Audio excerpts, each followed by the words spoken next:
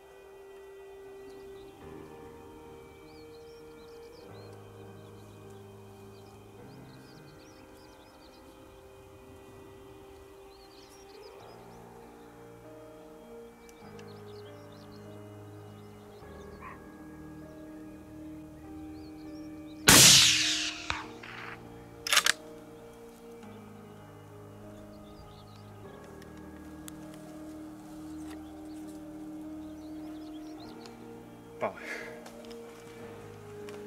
Prvo po muško. Znaš kako, prošle sezone smo davili daj ovoga, daj onoga i onda se to tako dužilo.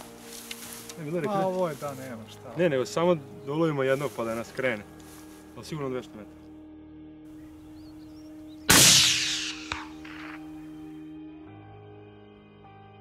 Bilo dosta. Ovdje pucao sam jedan 7 puta. Lepo. Ovo je kubik, ovo nema. Baš vidio sam ja kada je skočio u telu.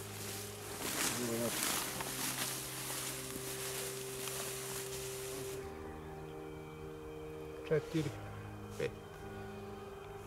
Nemaš četvorka.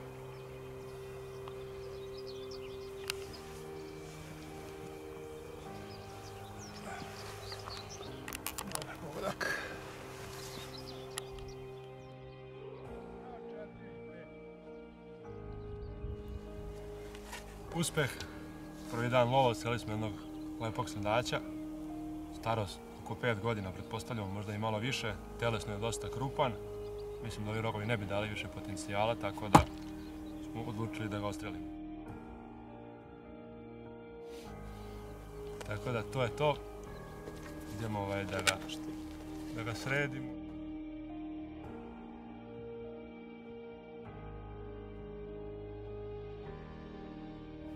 Pa do sljedeće epizode.